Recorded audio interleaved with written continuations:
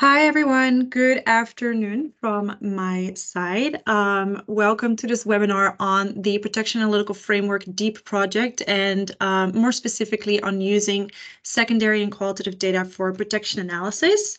Uh, my name is uh, Frey van Herk. I'm a project manager for the Danish Refugee Council and managing this project. Um, so today we'll be talking to you about secondary uh, and qualitative data analysis for, for protection clusters. Um, and we will be talking to you about what we're doing as well as lessons learned um, that we have from working with the clusters. Um, before I start, I just want to hand over to uh, Francesco Michele from the Global Protection Cluster. Thank you, Frey. Can you hear me well? Uh, good morning, yes, you can. everyone. Thank you. Hello, good afternoon. You're welcome. Good afternoon from here. We can. Amazing, thank you. Oh.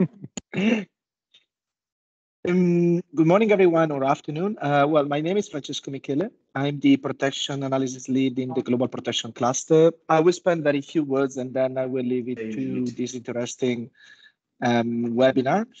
Um, a couple of words I would like to spend is that I'm really thankful of the collaboration we have been having in the last year uh, between our protection cluster team and the colleagues of the Danish Refugee Council, because we are, uh, as a protection sector, we are in a moment where we're really looking into our, how our protection analysis can be uh, harnessed, can be used better, can uh, actually um, be reinforced by our collective efforts. It's quite complicated because we know that protection data and information is hard to get but there is a very wide range of information and, and data that is available that we probably are not using uh, the whole capacity of that data to actually show protection situation in the country.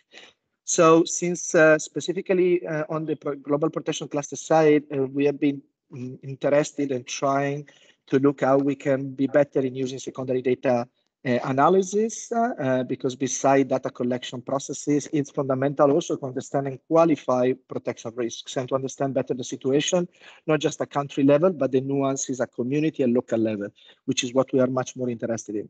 So today's webinar is um, uh, is not a culmination, but uh, what uh, we have been asking the DRC colleague is to give us their opinion and lessons learned and inputs of um, coming from the support they give to five uh, protection clusters. Their work has been fundamental for us to develop protection analysis update, but has also been fundamental for the preparation we are doing for humanitarian needs overview and the contribution to the whole humanitarian project cycle. So without further ado, I really invite you to really take notes. I know the colleagues, they're great in, uh, in what they do, but also in explaining, and they're really, really open to comments, critiques, questions. So without further ado, I, leave it, I give it back to Frey and, and enjoy the webinar. Thank you. Great. Thanks so much, Francesco. Um, so before we start, I just want to also um, introduce some other people on this call. So there's myself, I'm project manager for this PAFD project. Um, and then uh, Francesco, who just spoke, um, our colleague from the GPC. Um, I also have a, here Noor Shamsaldeen. So she is the senior analyst that is supporting two countries in East Africa, uh, two clusters in East Africa within this project. Um, my colleague Brennan Weber is online. He's the Global Protection Advisor uh, for Danish Refugee Council. Um, and we also have our dear colleague Dorian Klasnich from the Protection Cluster in South Sudan, um, who will be also showing some examples of the work that we're doing together.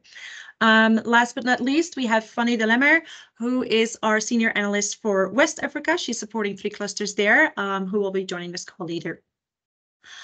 Um, so again, welcome. Um, so as Francesco explained, we have been working for the past year or so together um, with um, our five protection clusters that we're supporting in uh, in the field. Um, and so here we are going to talk about what we have been doing, um, what we're doing in terms of secondary data analysis for protection, as well as lessons learned that we have from this process. And we hope that um, any of this information will also be useful to our other um, protection cluster colleagues, as well as anyone else who might be interested in doing more secondary or qualitative data analysis for protection. So uh, we'll be talking about um, what we're doing within this project and how this also aligns with um, the Global Protection Clusters um, analysis workflow that they have presented um, at the start of this year. Um, we will start first with what uh, are some of the outputs are from our secondary um, data analysis. So what type of products do we actually come out with, um, as well as Dorian will give examples of um, how this works in South Sudan from um, the system that he has put in place. And then um, after we've done the examples and just showing you what it is that we do, we go more through the step by step as to how we actually get to this process, um, as well as then lesson learned um, on um, on using secondary data for protection analysis and some Q&A um, at the end. So without further ado, let's get going. So about this project, um, so this project run ran since um, October 2022 and we'll be um, finalizing this project in July um, of this year, so pretty soon. Um, and in gross uh, lines, let's say in, in uh, general terms, these are some of the main activities that we have been doing. So the first is protection analysis training. Sorry, let me actually rewind up a little bit. So the objective, let's start with that, was to strengthen protection analysis for protection clusters, and then with the emphasis on using qualitative and secondary data to do this. So some of the main activities that we have done across the clusters um, are listed here, and I will talk through them one by one, but just with the caveat of these are some of the general activities, but per cluster we have done different activities depending on their needs, um, and particularly also for their own processes as to what they already had in place themselves or systems that have been set up within the clusters already. Um, so this is not the exact process in each cluster, but just to highlight what we have been working on in um, general terms. So protection analysis training um, for the clusters that we're supporting. So again, that is Ethiopia, Niger, Burkina Faso, Mali, and South Sudan. We have been doing a training um, with selected participants on what uh, what is protection analysis. So what are we talking about in terms of protection analysis, the tools, um, many of which have been developed by the Global Protection Cluster and the AOR, such as the Protection Analytical Framework, obviously, um, the protection risk list that we'll be talking about a little bit more later. Um, so really training people on the basics and principles of protection analysis. Then um, from our side, what we have been doing is supporting on organizing and structuring the qualitative data for each cluster. We do this through a system called DEEP, uh, the Data Entry and Exploration Platform, which is an online platform that we're using to structure data. Um, and we will be talking about this more later, um, but this is really where a lot of our support has come in in terms of bringing in qualitative and secondary data for protection clusters to do analysis. We have done coaching and mentoring sessions, so online sessions um, with Protection Cluster colleagues and interested um, members on um, similar principles of protection analysis, but also in preparation and lead up to joint analysis workshops. Um, and so within these sessions, we go over principles in more detail. So how do we actually use qualitative data? How can we structure it? How can we use this platform?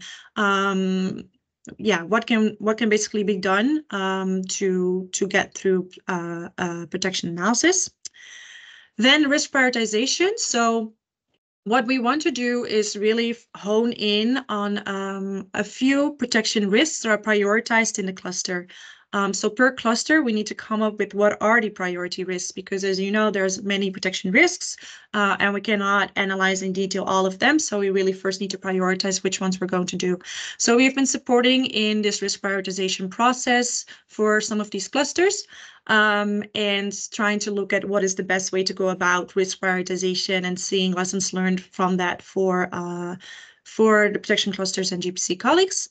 And then workshops. So these have not happened yet, but will be happening soon um, in the countries where with uh, the cluster colleagues and invited participants, we are looking at five priority protection risks that we're going to be analyzing using all the data that we have gathered throughout this project um, and doing this together with them to have a joint analysis of these are the priority protection risks and this is how we have analyzed them and this is what we um, yeah what we think is the analysis on these risks. So this is the um, protection analysis workflow that for our cluster colleagues, I'm sure is familiar to you by now. Um, that has been presented by the GPC at the start of this year. I just wanted to show this slide just to highlight that what we're doing is aligning um, with the GPC analysis workflow that was presented for this year, where we're looking at risk prioritization, we're looking at data landscaping. I'll talk about that in a bit more detail later on, and actually doing this analysis using again, all the data that we have available. And um, that this analysis is also done, um, these workshops that we're doing are going to be done uh, June, July, May, June, July, basically. Um, so also in lead up to the HNOs for this year to make sure that we're kind of aligning the sequencing of analysis with all the different products that need to happen. All right. Okay, so more specifically, um, just about the quick outputs, I'll, I'll show examples of this in the next slides, but um, basically this list of protection risks, which I'm sure is familiar to many of you, is the list that has been produced by the GPC and the AORs, where we have um, more or less standardized protection risks that we are using for analysis. And so what we really have been trying to do throughout this project is to use these protection risks to um, prioritize within these 15 and to then do analysis on these risks in a joint manner based as well on this secondary data that then informs the um, analytical outputs of the clusters. So um, one of our main focuses has been a protection analytical update or analysis update that um, is, I'm sure, very familiar to our cluster colleagues. Um, but of course, as we keep saying, um, we think that this also can inform, for example, your strategic planning documents such as HNO HRP. So maybe just in a bit more detail, what are some of the products that we actually have been working on through this project? So um, the principal output, as I mentioned, have are these PAUs. So at the end, um, after the workshops that we're going to be doing, we will produce a protection analysis update based on um, the discussions we will have had at these workshops. So these come out around June, July based on the priority protection risks. And so we think because of the timing, this analysis can also be used within the HNO HRP. Um, but what we really want to kind of drive home is that the analysis um, is just a continuous process and continuous workflow. So what we're doing, for example, is um, next to this end product in this project, we also have um, more continuous analysis products that come out depending on the cluster, depending on the needs. So these risk summaries you see, I will show an example in a bit more detail later on. Um, but what we can do is from this um, structured secondary data um, gathering that we keep doing in this online platform, we can, for example, produce summaries per risk. So we we take everything that we have, and for each risk, we can give like this is all the data that we have available. And so depending on the cluster, this could also be um, taken into ad hoc products. Um, some clusters have a more established workflow where every month there is an analysis report that comes out, um, can have different names. Um, some do it on banner of protection monitoring. Others have more ad hoc products that come out and then the PAU from time to time. And then um, obviously every year there's the HNO process. So just depending on what is needed, we can use our structured data that we have to put this into ad hoc products. So an example of this was um, in South Sudan where um, the cluster had to put inputs for the uh, report for the special representative on protection of civilians. And so we can go through, okay, what do we already have in terms of structured qualitative secondary data, and we can input that um, as is needed um, for a product like that.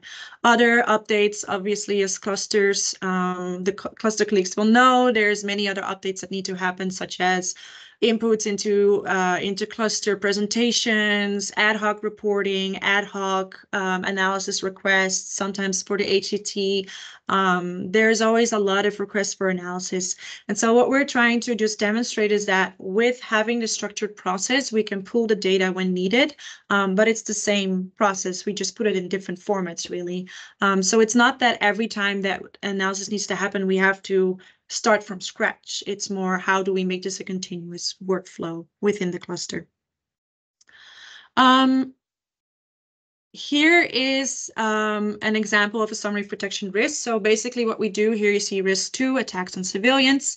Um, and basically what we do is we have these structured summaries um, that we do following the protection analytical framework. So we pull all the information and we structure it along um, the threat, the threat effects and capacities. So we're really using all the tools that are available at global level to kind of um, make sure that we have continuous updates on this. Um, so this is just an example of um, a product that we can, um, let's say, pool in an efficient manner. So last slide before I hand over to my colleague to give uh, an example from, from the cluster. Um, but basically, um, as I said, what we're now going to be focusing on is doing these joint protection analysis workshops. And basically there we are pulling all the data that we have done from the qualitative side. We pull all primary data that colleagues may have available. Um, so this data can be either quantitative or qualitative from both sides. And then we gather people in the room to basically give their expert judgment and operational knowledge on all this data that we have.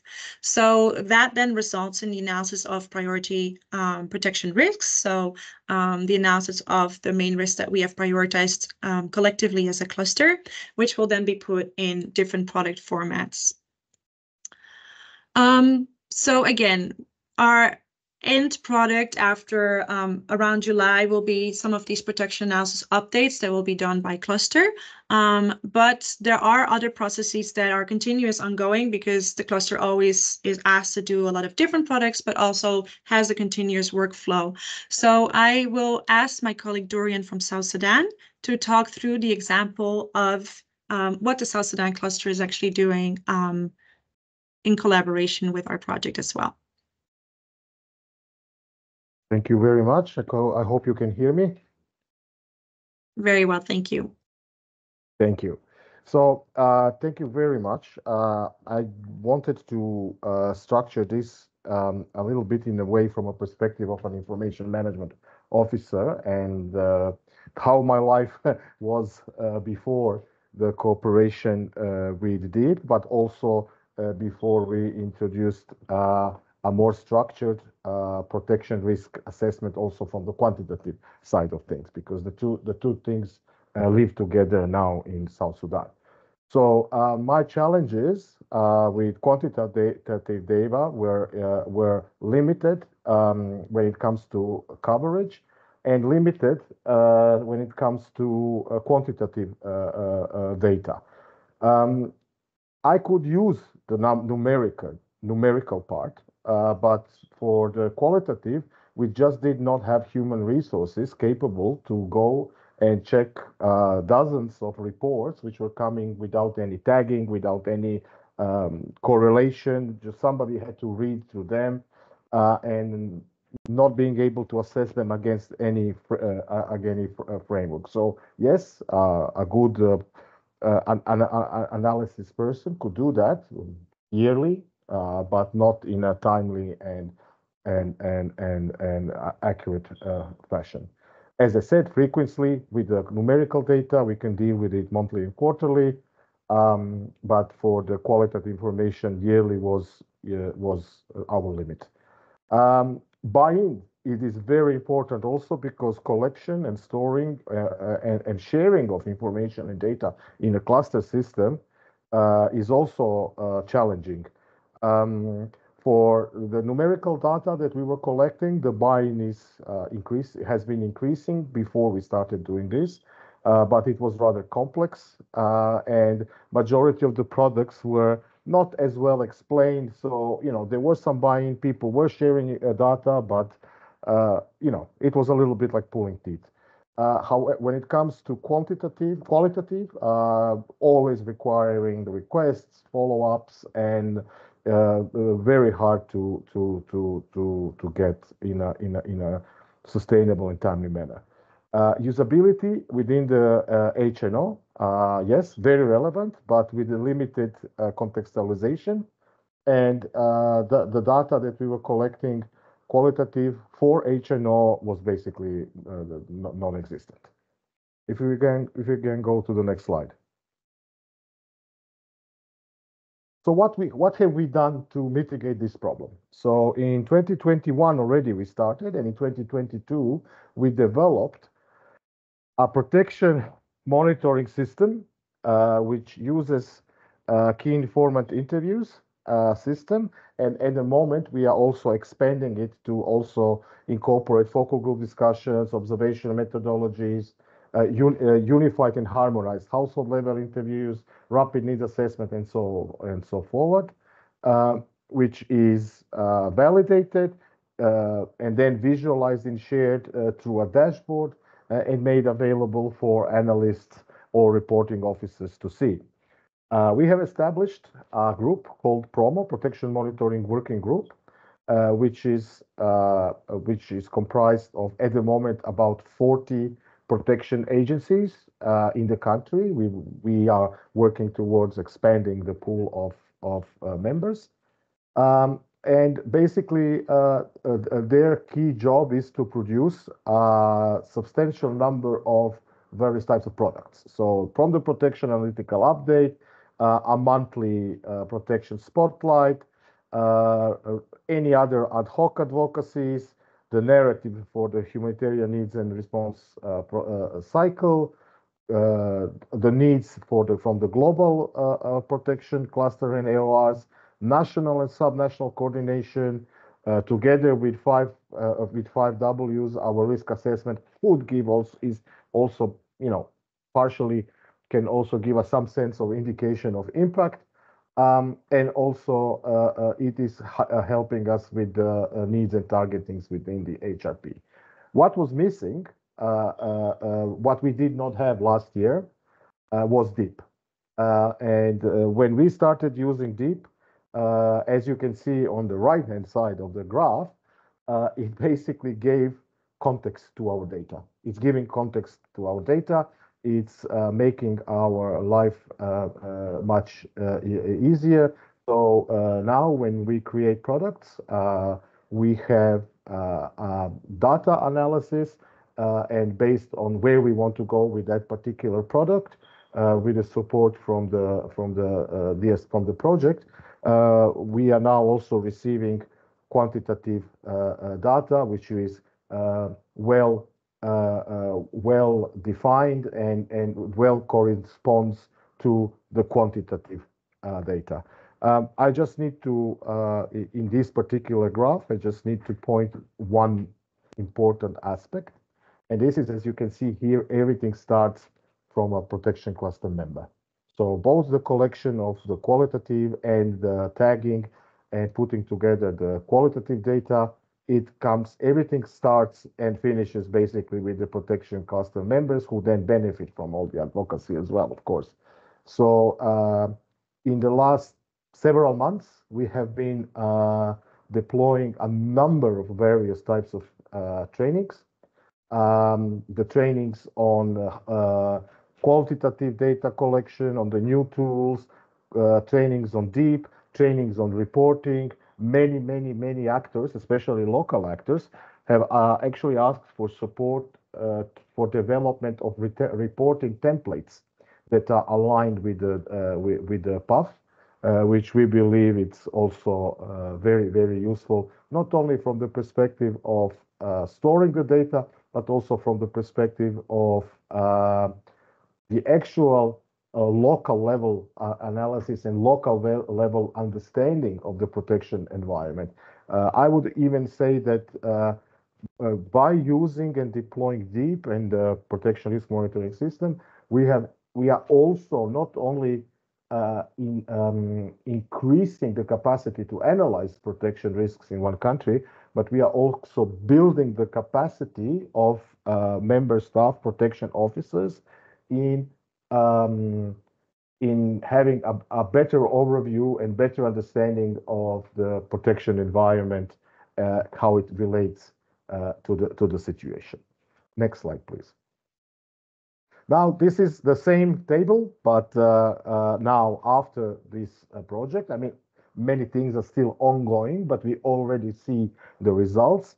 We see uh, now that our area coverage has much extended because uh, sometimes where uh, where um, quantitative data is not collected in some areas, we, but we still have reports. So our geographical uh, knowledge has extended compared to the previous.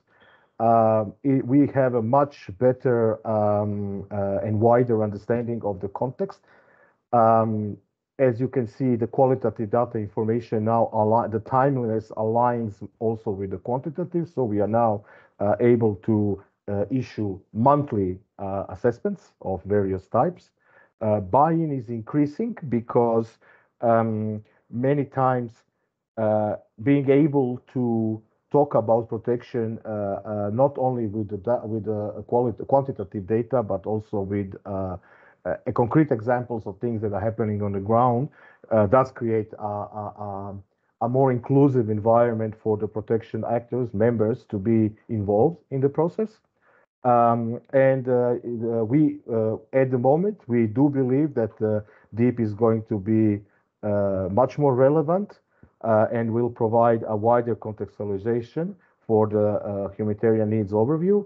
Uh, but it still remains to be tested for 2025. This is something which is in front of us in the next to come.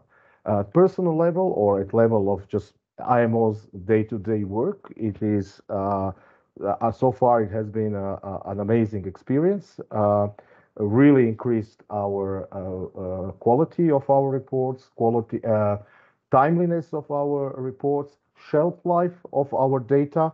Uh, we are much more accurate. Uh, and at the moment, we are uh, we are also looking into ways how to integrate this reporting into a wider, not only advocacy um, channels existing in the country, but also concrete channels within, within the intercluster cluster organization, which trigger responses uh, together with other clusters. Um, we are looking into ways how to be better at uh, using this monthly uh, information to steer the centrality of the protection in the country. and we are also looking into in ways how to do concrete geographical, thematical, and activity prioritization with those avenues where protection cluster is involved, for example, the humanitarian fund in the country. Uh, thank you. Open for any questions if there is any. Over to you.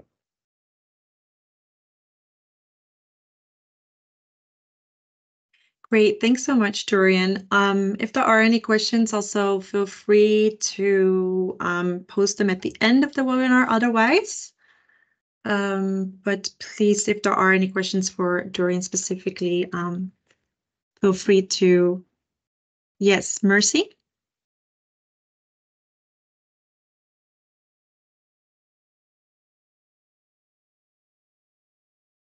Okay, I see the hand has gone on.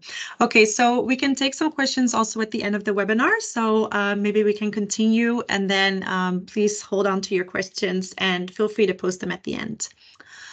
Um, so I think the process that Dorian is describing is is just really interesting because um, from the protection monitoring um, system and the promo working group he's already set up, um, they really had a lot of the primary data. And so from our side, we could bring in more of the qualitative secondary data.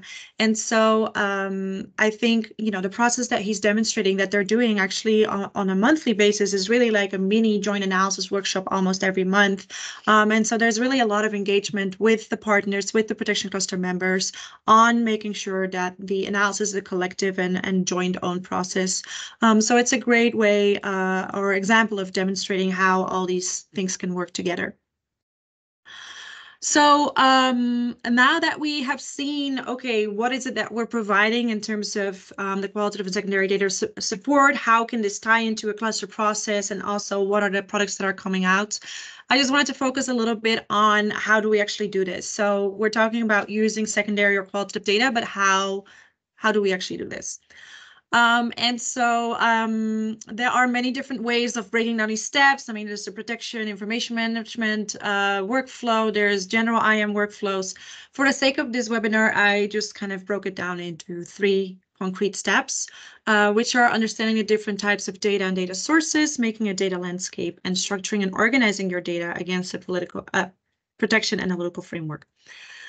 Um, so let's look at it one by one. So the different types of data and sources of data. So I'm not going to go into too much detail because I know my protection cluster colleagues are um, very well versed in this. Um, but we distinguish a few data types, let's say quantitative, so everything numerical, qualitative, in very simple terms, terms everything that is not numerical, um, could be observations, it can be um, responses to an interview question that is open-ended, it can be images, it can be anything really. Um, so in, in, in short, anything non-numerical really. Um, and so these are, of course, different data types. Now we have primary and secondary data as well. Um, quantitative data can be either primary or secondary, and qualitative data can be either primary or secondary. So I know we're throwing these terms around a lot, so I just wanted to look at it in slightly more detail. Um, so primary data is data that is collected usually by yourself and or your organization where you have had the direct influence over the methodology who has been targeted etc um, so it could be for example protection monitoring if you're administering that you know yourself or your organization does. You know how many people are being interviewed. Do you know what the questions are. You know how they're you know how it's been set up etc and you get all this raw data yourself right? Um, and so it could also refer to um, a data set, for example, that has not yet been analyzed. So let's say um, Dorian has been collecting um, primary data through protection monitoring, but I have access to this database and nothing of that has been processed.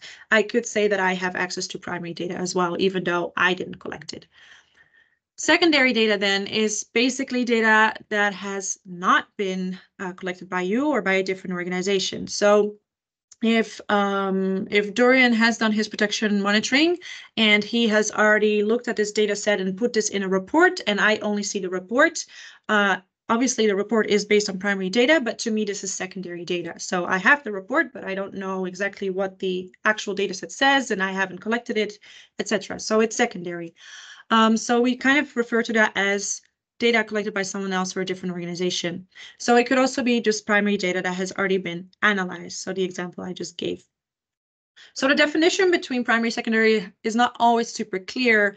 What we see um, is that oftentimes people refer to quantitative data uh, alone as as primary, um, but I think that definition depends a little bit either way, um, whether it's quantitative, whether it's qualitative, whether it's primary or secondary, we all we can use all this data for protection analysis. So um, what we're really focusing on is on the secondary data. So we do not collect data ourselves. We look at all the data out there, um, and it could be quantitative, could be qualitative, but most of it that we're analyzing is qualitative. So um, just to make that clear. So the idea is in country as well that you need to know all your different data sources, whether they are primary, secondary, uh, quantitative or qualitative, but what is out there. So that leads us to the data landscape. Um, so some of the processes that we have done with some of our clusters is to really map out all these different sources. Um, how do we do that? Um, there are different ways of doing it. Um, so I'm not here to, to say this is how you have to do it. Um, but really, generally, the steps are kind of looking at all your sources in country, um, and mapping these against a framework. So you could use, for example, the protection analytical framework or protection risks as a framework and just map all the different sources, after which you will identify what is actually in this source, what is in this data. Um, so here's an example of how we have done it um, with some clusters, which is we used the protection information management data landscape, let's say, where we use the categories that were identified um, through this process. And so here's an example of just some data sources that we were mapping against this. So when we were talking about population data, so statistics, the number of IDPs, the number of refugees, this can be primary data. Um, it could be secondary data, but it's mostly quantitative data, right? It's mostly numbers of people. Um, so for one country, we identified, okay, there is a DTM, and we know that UNHCR has their operational population data portals where we can also find this information. So we know we have these data sources. Um, for protection needs assessment, so any really needs assessment done by um, usually protection partners, right? Uh, we saw that some of them were primary data, um, sorry, some of them were quantitative data and some of them were qualitative data. So it could have been um, protection monitoring, which is leans more to the quantitative, but maybe we saw an assessment of focus group discussions, which is primary but qualitative. Um, so uh, we were trying to map out all these different assessments and asking partners what they have done and see if we can use that. Protection monitoring itself, obviously being a category, um, which in a lot of clusters, uh, we do have protection monitoring, um, which is mostly quantitative, but there are also qualitative aspects usually, um, depending on whether the cluster administered themselves, it could be primary, secondary. There's case management data, which often is also quantitative, some part of it's qualitative. Um, we know in some countries we have the GBV IMS, CP IMS, not that we can have access to all that data, of course, um, because it's protected as it should be. But there sometimes is a report that summarizes some um, overview of the GBV IMS, for example, once every quarter. Um, so we use that, um, et cetera, et cetera. So we were really looking at, okay, what are actually our data sources in country? And we use this framework to kind of map that out.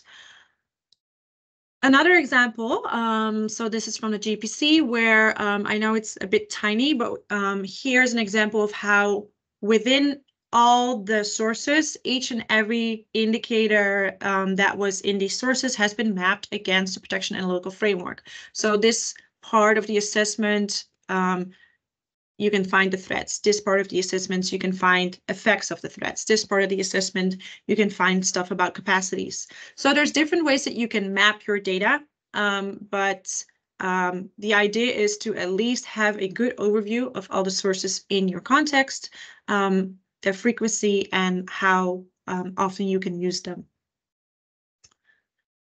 Um, so maybe just some quick lessons that we found through doing this is um, obviously all sources can be useful, um, but if you if we really go through all secondary data out there, there is actually a lot. Um, so we're not just looking at assessments from partners. It could be news reports, it could be research articles, it could be um, you know your local news updates. There's so much information actually out there, and so if you start to cover all of it, it can become quite overwhelming pretty quick.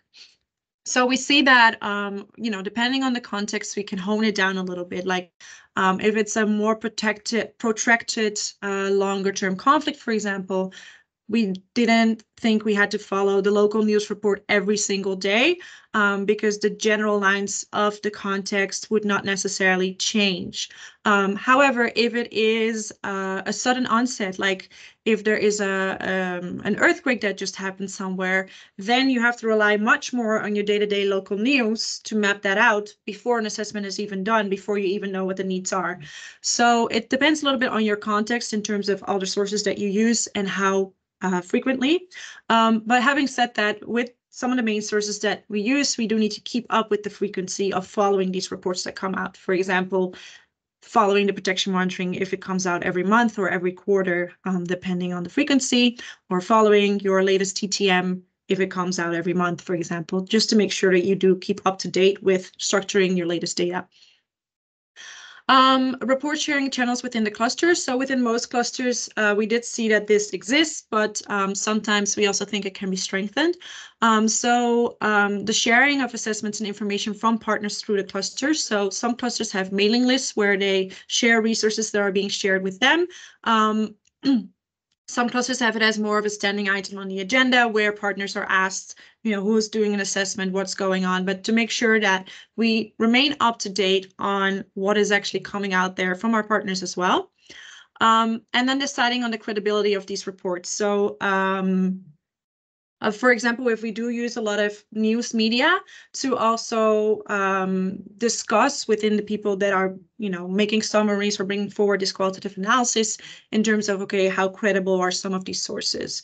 Um, if it could be, you know, uh, a local media that is much linked to the government and the government is an active uh, perpetrator of protection risks, um, then, you know, obviously we we need to um, put some caveats as to what this what this report means or what what are they saying in this report and how true is this right um, and then what we also um, see is that despite following all the assessments and everything in context, we do also need to find additional sources online. Um, ReliefWeb is a good website to go through, um, but it's not just you know what we do as protection partners, but it's also the wider humanitarian community that has a lot of reports. So it could be OCHA SITREPS um, that I know obviously are also shared through mailing lists and country, but to also just keep up to date with what wider partners are putting out there, whether that is a WASH report or food security or um, maybe even an investigative journalism piece or something that Human Rights Watch has written that contains a lot of information on drivers in the context, etc. Um, these are also just important to monitor. Um, so all in all, the qualitative data landscape um, and or secondary data landscape in that sense can be quite large. So once we have our sources and we've mapped them um, and we keep up with them coming out, we obviously need to know what's in them. Um, so we need to read our sources, but we also need to keep what is relevant for our analysis and discard what is not. Um, so here is where there's a bit of a difference between how we process quantitative and qualitative data. So if we have a quantitative data set, which is again more numerical, obviously we use different programs to um, process that data than we would processing qualitative data. So quantitative data, we use um, oftentimes more Excel, but also coding, Stata, R, etc types of programs to come up with graphs, to create dashboards, to consolidate figures into overall percentages, etc. Um, for qualitative data, this is different. Um, so let's say we have large pieces of text. How do we structure this in a way that we can pull it and use it whenever we need? Um, and this is what we do using the protection analytical framework. Um, I'm not going to go much into detail on this framework, but basically, um, this is a more, let's say, quantitative database. And if I filter out the data, I can get what I want. Um, I can go back to this data set and still always find what um, a household in this location has said. But in qualitative data, you have so many different reports and they're not structured in a similar manner. So we need to basically create our own database so that we can pull the data that we need when we need it uh, on, for example, a protection risk. So then it's like, okay, what did I say from this report on this risk? What did I say from that report? What did this partner say on this risk? Um, so I need to create basically my own database to pull what I need when um, when we need to write something. So here's just an example of how we do this. So like I said, we need to structure data and we do this using the protection analytical framework. But basically think of it as I have all these pieces of texts that I need to structure against the protection analytical framework. Um, if you do not know the protection analytical framework, I will show it in the next slide, but I won't explain it in detail, um, but would encourage you to read the guidance uh, from the Global Protection Cluster and AORs on the, the protection analytical framework. Um, but basically, we structure our data like we would organize a wardrobe. So everything on this we put here, everything on this we put there. Um, that is basically the logic. So here are a few pieces of text. And so um, let's imagine they all came from different reports. So for example, on point three, I saw that intercommunal violence stands out as a major source of insecurity. In the first quarter, more than 92% of overall citizen casualties resulted from intercommunal violence, perpetrated by community-based militias and civil defense groups. This was from OCHA. Um, then also I have point five, random attacks by armed cattle keepers and cattle raids on civilians continue unabated uh, and affect both remote areas. So this was from uh, NGO uh, report. And so these pieces of text I thought were important because they speak about risk, they speak about intercommunal violence, about uh, cattle raiding. And so these are risks or protection issues that I want to make sure I keep in mind when we write our qualitative analysis. So what we do is we basically take the protection analytical framework and we map our pieces of data. So these are the same texts that you saw on the previous slide against this framework. So we basically organize them in our little wardrobe and say this stays here, this stays there, this stays there. Now, this is only an example of us doing this with four pieces of text, um, and this is manual. So this is quite a lot of work. Um, and particularly the more data you have, the more pieces of text you will need to fit. Um, and so it becomes a bit unwieldy pretty quickly um, if we do it like this. So what we are using in this project is called the DEEP, the Data Entry and Exploration Platform, that we use to structure data. Um, you can go to the DEEP yourself if you want to have a look. You can sign up. Um, of course, you're not part of any projects, but um, the platform is free um, to access. Um, basically, I will just through the screenshot kind of show the logic, but we basically save pieces of text from different assessments that we find important. So here there's a piece highlighted on the left um, that starts with in the fourth quarter of 2023. And so I select this piece of text because I think I need to use it. And then I start clicking different boxes where I want to put it. So this is the protection analytical framework. So I say this is part of protection threats.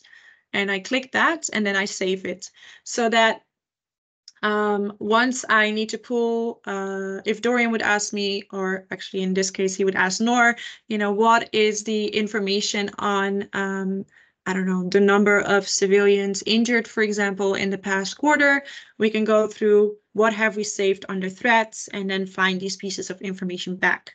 That would basically be the logic. And so um, there's different, what we call tagging, so different um, pieces of uh, um, boxes that we click to save this information. Um, and so we use it against the protection analytical framework, but we can also put the geographical location. Um, so in this case, this piece of text is talking about um, Greater Upper Nile. So if um, somebody would ask, hey, what is all the latest information that you can find on what happened in the Greater Upper Nile? We just go to whatever was saved on the Greater Upper Nile and we can pull all of that. So um, this is how we use it. We use an online platform to save all our secondary data and to structure it so that we can pull it when we need it, basically. So in terms of processing our data, um, or what we call tagging on DEEP, um, some tips and lessons that we found is that um, we organize our data against the protection analytical framework. So this threat, threat effect capacities, um, which this framework is very well known with our cluster colleagues for sure. Um, what we have found is that doing that in itself is not sufficient. So if I just look at everything that is threats, um, I can still get thousands of sources really, or thousands of pieces of text that we saved. Um, and so what we have found is that structuring your data against uh, the protection analytical framework is one thing, but we also need to immediately structure it according to one of these 15 protection risks to ensure that um, we talk more on the protection risk language. So it's more what can we find on attacks against civilians or what can we find on GBV or what qualitative or secondary reports um, or pieces of text can we find on um, trafficking, for example. So we structure it simultaneously against risks because that's easier um, to, to present the data and also to find what we need. Um, structuring qualitative data is um, complex in the sense that different people can structure it differently. Um, so as you know, the analytical framework is very helpful in guiding us through these threats. What are the effects? What are the capacities? Um, but the interpretation of how something needs to be structured can be different. So if there's multiple people working on structuring qualitative data or um, making sure that you have your qualitative data ready to use for whenever. Um, it is important that these people at least have the same definition as to what they're doing, um, because then when you pull the data, you need to obviously know what it means and how you've structured it. Um, so that takes uh, resources, and so also the understanding within, um, you know, two people's different brains might be different. Um, and again, um, I emphasized it before, but to keep doing this and doing this in a structured manner, there needs to be some sort of data pro um, sharing process that needs to be established within the cluster, whether that is keeping um, abreast on the latest uh, assessments that are done, whether it is a standing item in the cluster meeting on you know what partners are doing and what assessments might be coming out or what's being planned, whether that is sharing through mailing lists. Um, but there needs to be some sort of continuous and or regular um, information flow also for the latest qualitative reports as you would, for example, present your protection monitoring data every month. Last but not least, oops, sorry, um, that was a little bit uneven. Um, that is basically the process of what we're doing. So we're looking at all the reports that are coming out. We're mapping all our information sources that are coming out, and we're structuring this data within this online platform to basically ensure that we can pull whenever we need it. Um, and then complement this, for example, in South Sudan's case with primary data collection on the protection monitoring. We put all these together and um, then have an update for an analytical product, whether that is a monthly report that comes out with both stats and text um, and people's interpretation on what this actually means, um, or whether this is for the um, protection analysis updates um, that are being done in the cluster, where we do the same process but on a somewhat bigger scale, where we take whatever we can find on the qualitative side, on the quantitative side, and have people discuss this together um, over the course of a few days to come up with a joint analysis of the main protection risks. Um, so to maybe end up with some lessons learned on the whole process in general. Um, so planning for leading and coordinating the analysis workflow. So both quantitative and qualitative, um, but in general, making sure that this happens consistently and also that the, you know, the writing is done, the summaries, for example, so that you have something to discuss is time and resource uh, consuming. Um, so there is no doubt about that. Um, just like in quantitative data collection, where you need to set up the whole assessment, you need to collect all the data, somebody needs to crunch the stats and present that. The same way on the qualitative side, you do need dedicated human resources to structure information and write summaries so that you actually have something to discuss. Um, of course, if you do this um, less uh, frequently, then um, to, for example, if you do it once a year, it's going to be also very time and resource consuming because you have so much data to go through. So we do think it reduces the overall amount of work when this is done on a regular basis. But either way, um, it's going to require some dedicated human resources to get this done. Um, in general, for the analysis workflow, what we've seen, it's best when it's um, specifically someone's responsibility. Um, so, for example, when there is a clear division within the cluster team as to who is, let's say, responsible for the analysis workflow. Um, so this could be the co-coordinator, it can be the coordinator, it can be the IMO, um, but we've seen that it works best when somebody assumes this responsibility for this analysis workflow, whether that's quantitative, qualitative, or both, um, to push that forward. But also, for example, um, as South Sudan is doing it, when this is situated within an analysis working group, um, where there's a dedicated working group under the cluster that is then charged with um, looking at both the quantitative and qualitative data and jointly deciding on this is what we're putting forward. Um, so some formalized system, either with a person's uh, responsibility and or with a group within the cluster's responsibility, um, seems to be um, a successful formula. Um, we've also seen that in general, um, whether this is quantitative or qualitative, um, when it comes to making analytical products, um, including the protection analysis update, some form of joint analysis is needed to create consensus, um, but also to interpret the data. So um, the drivers, the you know the threats, what are the consequences? A lot of these concepts are very interlinked, and so um, it tends to help to have some form of joint analysis process with people, um, cluster partners, to decide on what it is that we're putting forward. And um, the last lesson learned that we have seen is so through structuring your qualitative data um, frequently and through a process like this, we can improve on the efficiency. Um, so as I said, it will take human resources, but to then pull your data when it's needed is very efficient. Um, so we don't do this just for one product. We can do this regularly. If it's a new um, uh, report that comes out or a report for a special representative that needs to be done and, and we need to talk about, oh, what's the risk for GBV? We can continuously just pull whatever is in there, which is quite an efficient process uh, once everything is structured.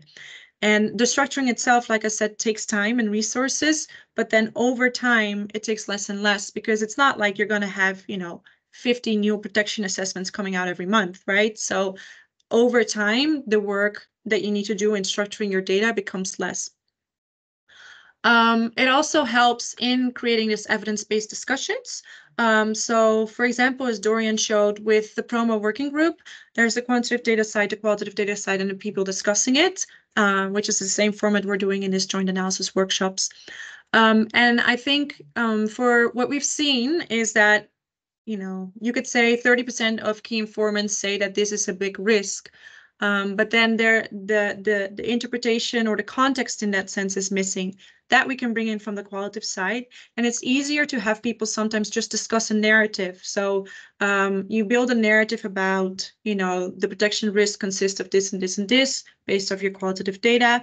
And 30% of key informants um, say the, the same thing. But then you can build more of a narrative around what is the risk that we're talking about, uh, why is this happening, and have people debate that.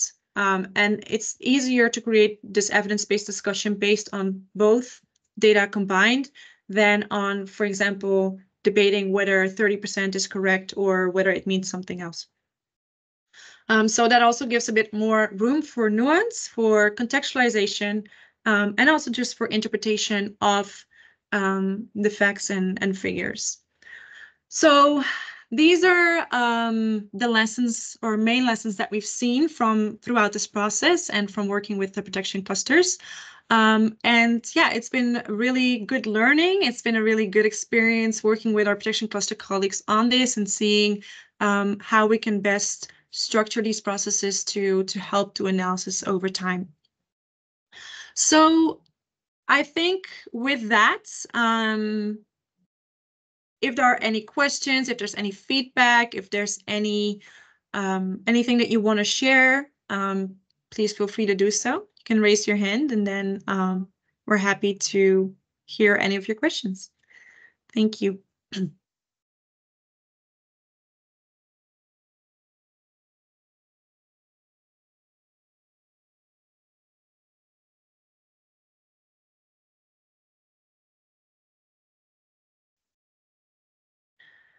Okay, Mijailo or Mikhailo?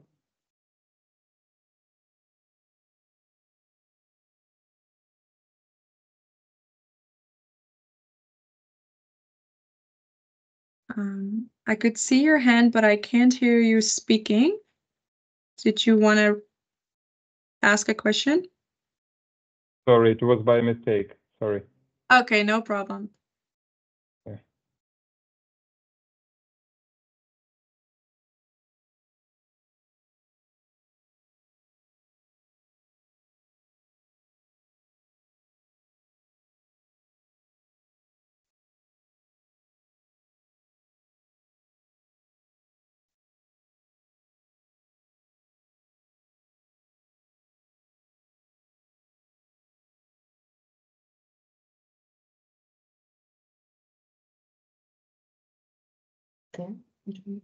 Joel, I see your hand.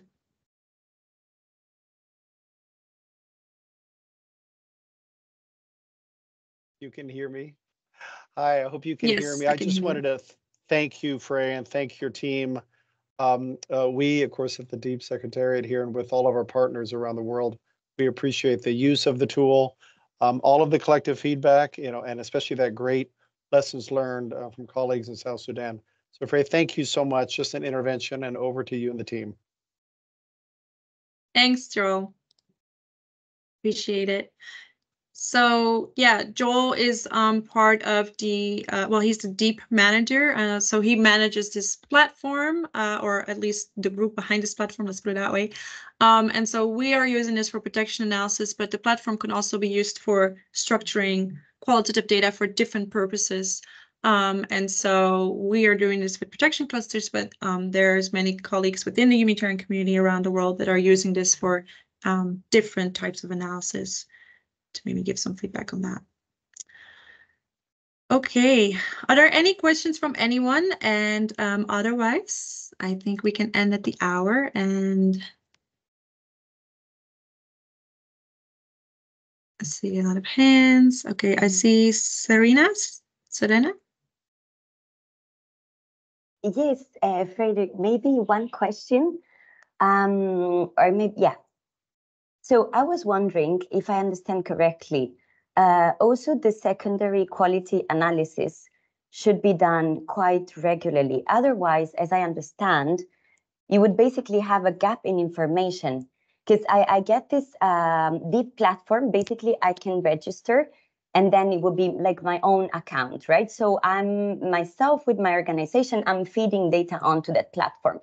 So ideally, um, we need to do this work with a, in a regular fashion, so not to have a gap in information, and so that if we want to analyze a specific uh, protection threat, or then we would have um, a good overview over the year or over a time period, right?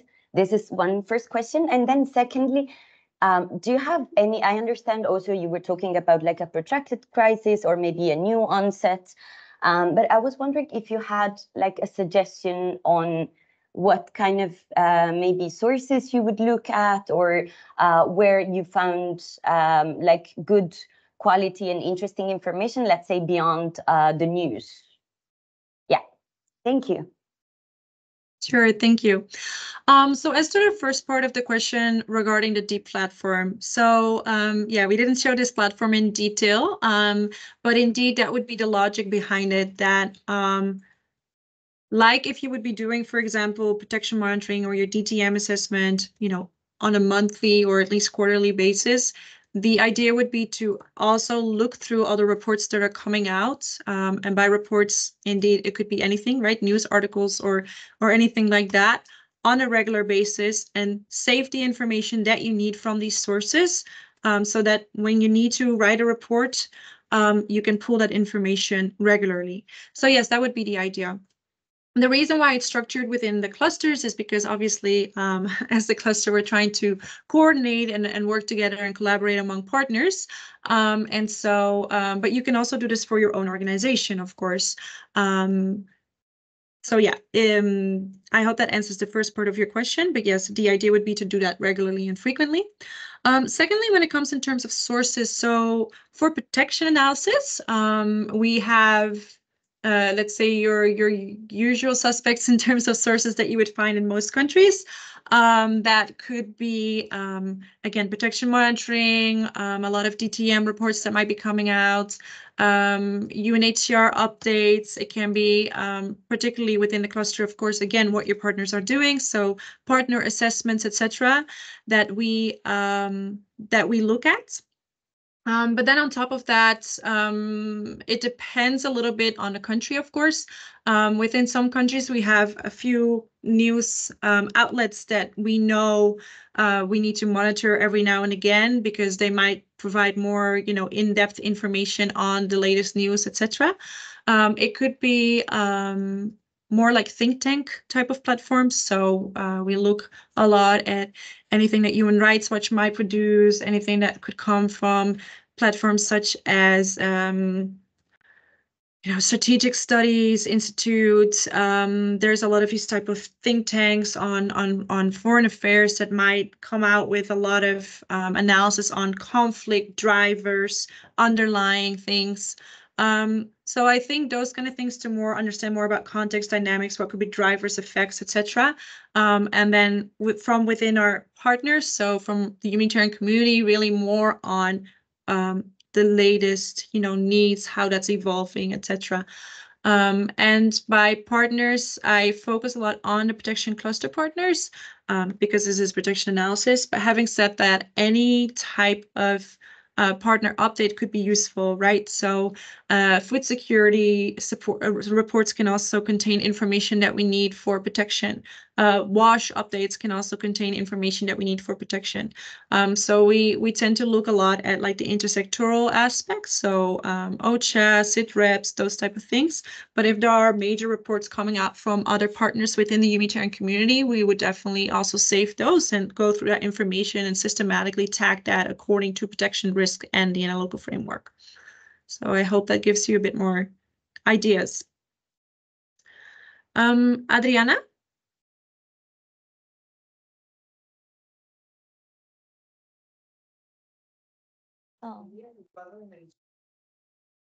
Uh, hello. Yes, good morning. Can you hear me? Yes. Okay. Uh, so thank you for for this uh, for this presentation. I think it's very useful in in how to structure the, the data that we have, especially now that we are starting the, the HNO process. And uh, I am IMO for, for protection cluster in, in Venezuela, and we are uh, now gathering all the information that, that we have and the secondary data. And I think uh, your lessons learned will be, will be very useful for us. Uh, I have a question um, regarding uh, DEEP specifically, and because I understand there are two two stages in the process of of, uh, of analysis, uh, as I see it, and one one of the stages is more, let's say, uh, automatic uh, regarding tagging the the information, like uh, classifying the information. And and my question was, uh, and also considering that there may be some people from DEEP in the in the call, as you mentioned, if uh, it's been uh, considered to use artificial intelligence in the process of of tagging. Uh, I I I see that there are like there is like more like an automated process and then there's more like interpretation process where of course uh, artificial intelligence could not play a, a, role. But maybe in the first part uh, give like the the and of course with a human uh, then revision of the process if this has been evaluated over. Thank you Sure. Um, thanks for that question. So basically the first part about um, how there's, let's say, different stages of using this DEEP platform. Um, so again, we're using this platform to structure our data and to save content that we need from our secondary reports and to make sure that we um, do it in such a way that we can basically use it whenever we need it. Um, so maybe I will ask um, Funny or Noor, um, the analyst for East and West Africa, if they want to comment on this process. And then maybe um, Joel, if you're still online, um, if you want to um, say a few words on this um, automation. I'm not sure if I see Joel, so maybe I'll come in after that as well. But I'll first hand over to Funny or Noor to also talk a little bit more about this structuring on DEEP. Yeah, um, I, I can come uh, on board. Um, regarding this automatization process, I mean, it's something that uh, very developing now. It's from my knowledge and my understanding of the platform, it's not uh, yet really um, put in place. Uh, you still do the tagging parts and then you export according to that um, but it's not developed yet. I don't know if no you have complementary information.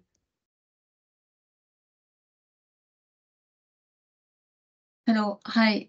Um, um, no, in terms of the stages, I, uh, I I don't have a question. I don't have an answer for the artificial intelligence. I guess it's being developed, but I don't I don't I don't I can't answer to that.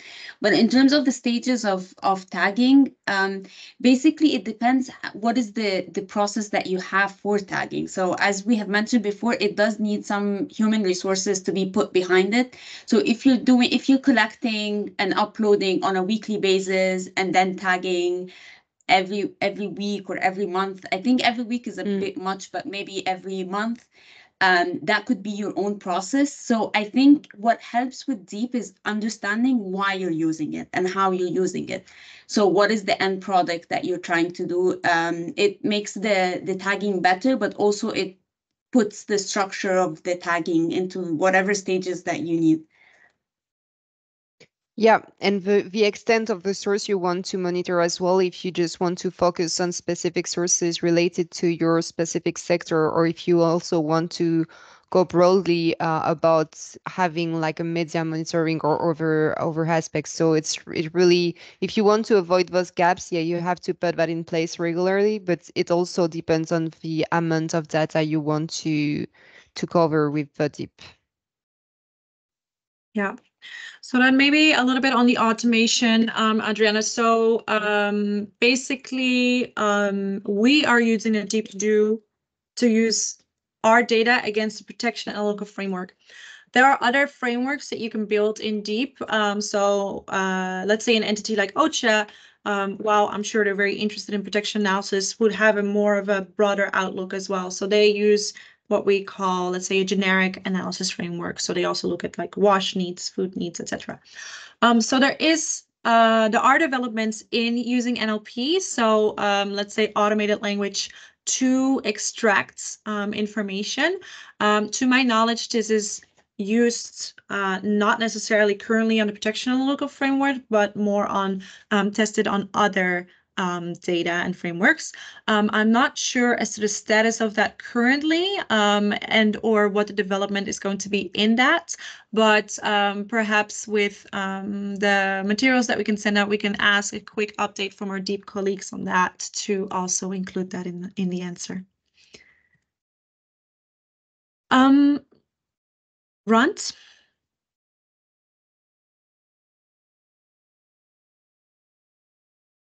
Um, hello, everyone.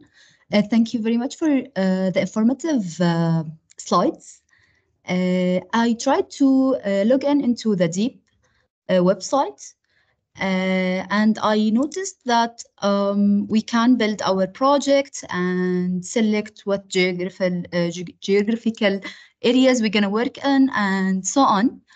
and I, um, I just want to check that where we can uh, see, uh, let's say, um, a previous uh, analysis on it or access to analytical reports built on this website.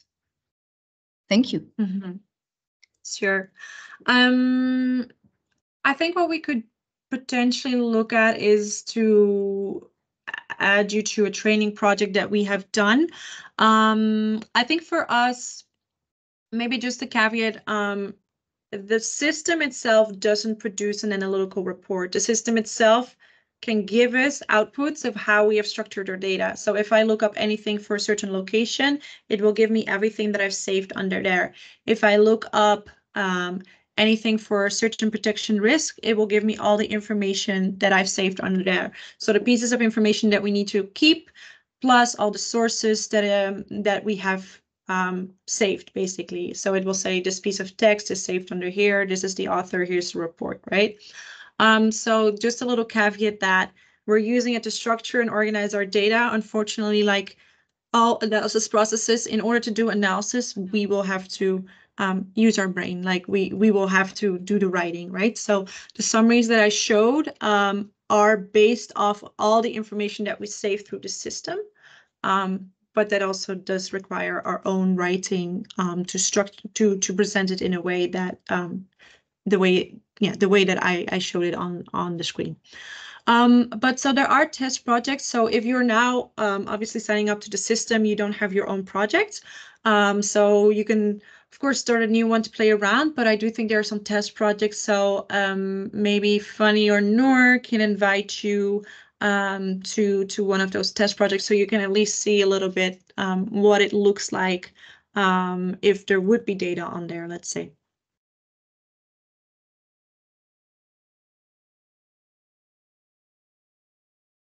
Okay, any last questions?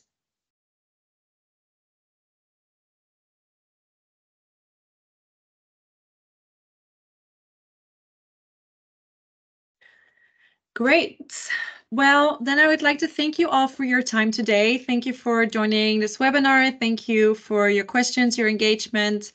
Um, we hope it was useful for you. We hope you found it interesting.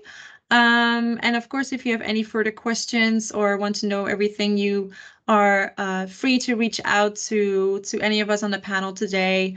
Um, so yeah, I think that's it. So thank you very much and have a great day.